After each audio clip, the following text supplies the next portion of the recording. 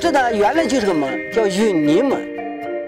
这一层一层一层修起来，二十八公分一层，然后三公分的沙，这样打起来的城墙比较硬。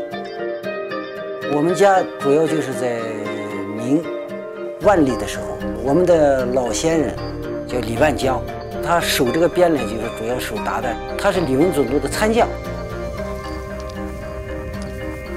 手咱们的手就是把，因为那个沙雕嘛，镰刀用不上，只能用手。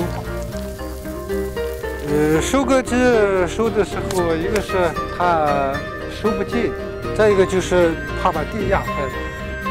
最后这不是到这个地方住下以后，不是清朝把明朝打败以后，我们走开了，居住到这个地方，也就是说现在四百多年了。